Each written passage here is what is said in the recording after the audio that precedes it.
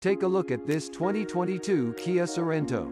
Equipped with a 8-speed DCT transmission in gray.